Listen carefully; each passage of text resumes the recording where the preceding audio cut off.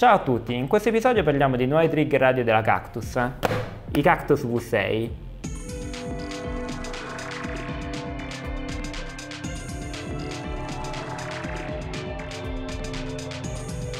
Quest'anno sono usciti sul mercato i nuovi trigger radio della Cactus, i Cactus V6. I trigger radio, per chi non lo sapesse, servono a far scattare i nostri flash staccati dalla macchina fotografica, così da poter utilizzare le tecniche di illuminazione da studio con comunque una soluzione abbastanza economica. I V6 portano tantissime novità nel mondo dei trigger radio, ma quella più grande è la possibilità di controllare a distanza la potenza dei flash RF60, anch'essi usciti quest'anno eh, sempre della Cactus, e di tantissimi altri flash di molte marche diverse. E ogni unità V6 è una unità ibrida, questo vuol dire che eh, è, può essere sia un trasmettitore che un ricevitore. Dobbiamo semplicemente selezionare dal tastino laterale quale modalità dobbiamo utilizzare. Ha eh, 4 gruppi eh, di controllo dei flash e 16 canali.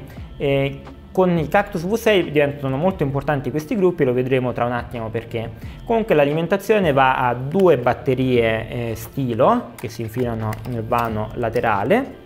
Oppure possiamo alimentarlo anche da un attacco mini USB che c'è da quest'altro lato e questo attacco mini USB può anche servire per fare l'aggiornamento del firmware dei V6. Questo vuol dire che attaccandolo al computer e usando il software originale Cactus possiamo migliorare effettivamente le prestazioni dei nostri eh, trigger. I trigger V6 sono chiaramente più compatibile con i Cactus RF60. Questo perché i Cactus RF60 contengono al loro interno un trigger V6, quindi se compriamo questo tipo di flash e utilizziamo i V6 possiamo effettivamente comprare sola, un solo trigger e i flash al loro interno saranno automaticamente, eh, sarà automaticamente possibile controllarli a distanza, sia per farli scattare sia soprattutto come potenza. E posso dare una veloce dimostrazione di questo immediatamente. Metto in modalità trasmissione trasmettitore il mio trigger e vedo che eh, si è acceso l'LCD eh, nella parte dietro che mi permette di controllare i dati di, di, singoli flash. E questi quattro tasti si indicano quali gruppi al, al momento ho selezionato. Quindi quando sono accese le lucette effettivamente sto scattando i gruppi selezionati quindi accendo il mio flash e in questo momento il mio flash si trova nel gruppo A. A questo punto semplicemente ruotando la ghiera dietro al mio flash posso passare da eh, da piena potenza, diciamo un primo, posso andare facilmente a un quarto di potenza e vedo che il flash è andato a un quarto di potenza e non ci ha attaccato nessun altro trigger, quindi posso facilmente attaccare questo eh, flash a un cavalletto con un ombrello oppure all'interno di una softbox di quelle stile Apollo, quindi dove non è facile accedervi velocemente e cambio la potenza soltanto dal mio trigger che sarà montato sopra la mia macchina fotografica e se voglio scattare in questo caso posso usare il, il tasto di test e se scatto appunto sto scattando e posso velocemente andare ad esempio a un 64 di potenza e scatto e il flash è molto più debole non sono sicuro che anche è possibile vederlo durante il video Un'altra caratteristica interessante di eh, V6 è il fatto che possiamo controllare la eh, precisione della potenza non solo con salti di uno stop, quindi per esempio eh, a piena potenza, un mezzo, un mezzo, di potenza, un quarto di potenza, ma possiamo andare anche su frazioni più piccole, quindi possiamo andare su salti di un terzo oppure su salti anche di un decimo e questo e quindi ci permette un controllo molto, molto di fino sulla potenza e sul rapporto delle varie luci.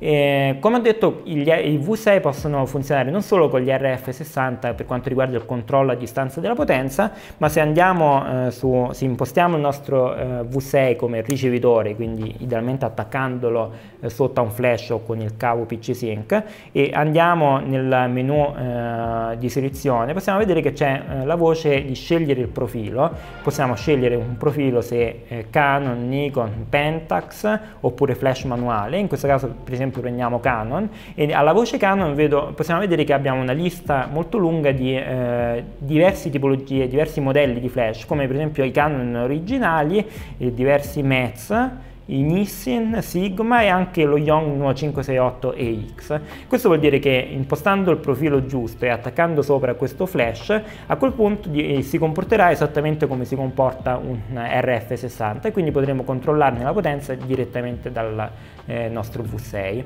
Inoltre c'è un'altra buona notizia, ovvero che anche se i nostri flash non sono in questa lista, ma se hanno la funzione TTL classica, quindi non quella completamente digitale, è possibile usare un procedimento eh, che mostrerò in, un, in, uno dei prossimi video, è possibile fare un procedimento che ci permette di eh, insegnare al nostro V6 come si comporta questo flash e qual è la potenza di questo flash. Quindi essenzialmente si tratta di attaccare il flash sopra il V6, il, il V6 eh, ci dà alcuni comandi come ad esempio mettere in TTL, mettere a un mezzo di potenza, un sedicesimo e così via. In questo modo con il sensore ottico sul davanti il V6 è in grado di capire come gestire questo flash e a quel punto una volta finito questo procedimento se è andato a buon fine avremo un profilo che potremo anche copiare tra i diversi eh, trigger per utilizzare un nostro flash che non era previsto insomma nella lista ufficiale. Un'altra funzione molto avanzata con i flash che permettono controllo remoto è la possibilità di controllare questa potenza in maniera assoluta, visto che ogni ricevitore infatti conosce il flash che sta attivando, conosce anche qual è la quantità di luce effettivamente che emette questo flash. In questa maniera il trasmettitore, comunicando con i ricevitori, può fare in modo che ogni flash eh, emetta la stessa quantità di luce a, a, dispetto della marca e del modello. Questo perché infatti eh, ogni flash, anche della stessa marca, ogni modello ha una certa quantità massima di luce che emette e da lì partono le frazioni che siamo abituati a utilizzare per controllare. Quindi un mezzo di potenza su un flash, ad esempio su un Lumo Pro, può essere completamente diverso da un mezzo di potenza su, di, un, di un Canon originale, di originale oppure di un Nikon. I Cactus V6 inoltre sono ottimi trigger anche per eh, essere utilizzati con dei flash normali, dei flash a controllo manuale. Sono dei trigger a 2.4 GHz che è la frequenza standard ormai per i, trigger che permette una grande affidabilità. La distanza eh, massima assicurata è di 100 metri eh, di scatto, il loccio sulla parte superiore è, è, possibile attivarlo come TTL pass-through, quindi vuol dire che possiamo attaccare sopra la nostra macchina fotografica il V6 e sopra attaccare un qualsiasi flash con il controllo TTL, in questo modo il flash sopra,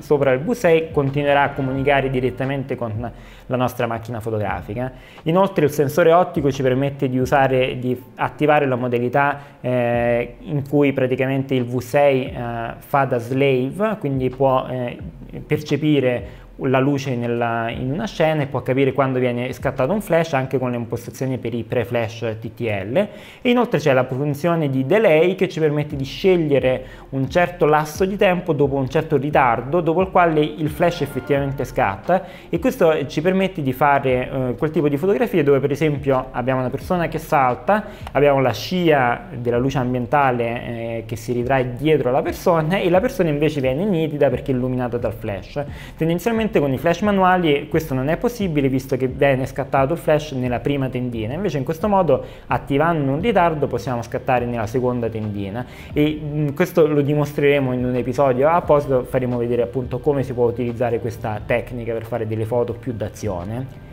I Cactus V6 sono inoltre eh, retrocompatibili con eh, i Cactus V5 o anche i sensori laser LV5. Questo vuol dire che eh, potremo utilizzare questo eh, setup misto di ricevitori. Chiaramente i ricevitori che verranno usati eh, delle versioni precedenti non avranno un controllo remoto. Il prezzo dei V6 si aggira sui 40 euro e secondo me per chi soprattutto sta iniziando in questo momento a eh, costruire il proprio eh, corredo di trigger e flash questa è una soluzione molto comoda soprattutto abbinata ai flash RF60 che tratterò in un inventario a parte. Queste due unità mh, dimezzano praticamente, quasi dimezzano lo spazio occupato in una, in una borsa dato che ci basta avere i, flash che vogliamo usare e un trigger non ci dobbiamo preoccupare di, di altre batterie oppure di altre, insomma, altri trigger altre attrezzature. Inoltre eh, rimane il fatto che abbiamo controllo completo eh, su, su, sulla potenza in remoto e questo sicuramente non è una cosa malvagia.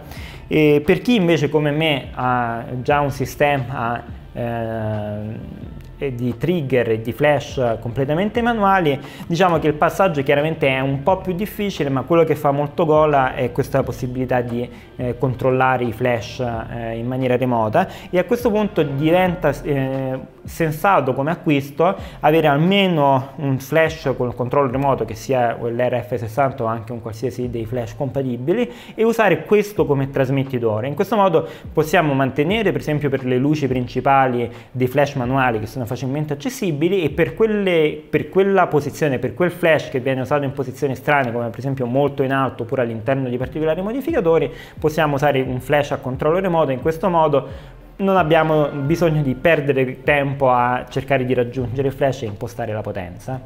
E in altri video che ho intenzione di fare dimostrerò un po' le funzioni più avanzate, questo era un, diciamo, un quadro generale sulle caratteristiche del V6 e mi auguro che sia una, una serie di informazioni che possa tornarvi utile e possa spiegarmi un po' i dubbi su eh, quali sono effettivamente le novità che porta questo V6. Per questo inventario è tutto e ci vediamo al prossimo episodio.